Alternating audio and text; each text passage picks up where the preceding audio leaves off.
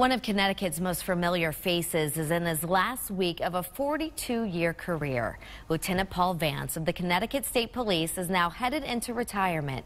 News 8's anchor Scott McDonald sat down with Lieutenant Vance for a closer look at his career. Inside his office at State Police Traffic Services, boxes are packed. Awards like Top Cop and certificates of appreciation are all stacked up. That was me. Oh, wow about 100 pounds lighter. Pictures from days on the job spanning four decades. Way back when. And that was, that was actually at a, at a crash scene. Over his long career, Lieutenant Paul Vance has worked in many different capacities for the Connecticut State Police. The hose from the tailpipe going to the interior of the car. But most recognized for his time in front of the camera. It's almost like a crossword puzzle, putting a puzzle back together. As the State Police Public Information Officer. I came into the position of the Media Relations Specialist for the department blind as a new kid on the block. Vance says he's had to learn on the job, balancing the pressure from media for information and also the integrity of the investigation. But always making sure that the public knew that if there was something uh, that was going to endanger them, that they were made aware of it instantaneously. In his post, Vance was accessible to reporters. It was a good foundation. It was something we worked at.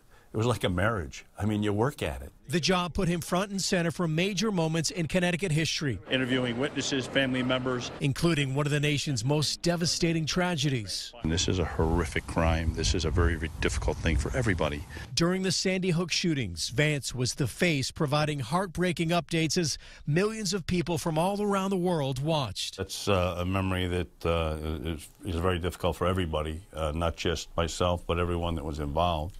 Um, and, and, and, there were many over the years. It's a job he handled with sensitivity and care. I asked him if he ever felt pressure during those moments with every major news network on hand. What I always thought about was uh, I, I may have been the one that was standing there, but I was not the one doing the work. The men and women of this agency were doing the work, were conducting the investigations, were beating the bushes, were the boots on the ground, if you will. I had the honor, and I always felt it was an honor to speak about what they were doing. For Vance, the job has come with some dark days, but also lighthearted moments. I'll let a secret out now because I'm, I'm getting ready to go, but there were, there were times when I'd be sitting at a desk or, or during an interview uh, with, my, with my shirt on and, and my hat on if it was appropriate, and uh, I might have shorts and flip-flops on. Um, but it was, this, this was to get the message out, to let people know that it was an official message. Uh, well, I, I, actually was caught, if you will, by a former governor uh, who happened to be driving by and said to his driver, Stop. I want to talk to that trooper because that's exactly what I had on. In retirement, the man considered by many as the face of the Connecticut State Police will still be out and about in the state that he served for 42 years.